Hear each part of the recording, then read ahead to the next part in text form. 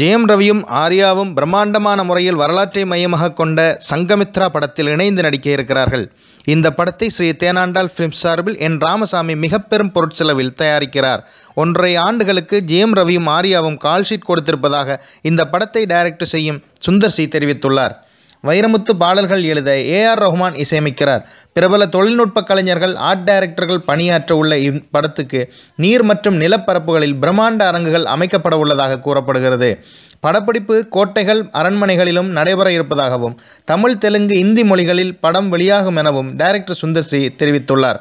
மேலும் சினிமா செய்திகளுக்கு சேனலை சப்ஸ்கிரைப் பண்ணுங்கள் தேங்க்யூ